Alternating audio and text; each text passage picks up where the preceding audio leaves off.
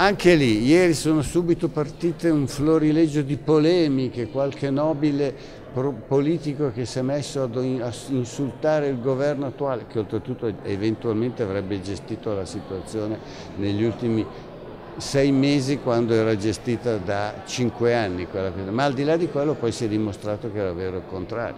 Adesso valutiamo quali sono le competenze che ci verranno trasmesse prima di poter fare una considerazione, una valutazione finale.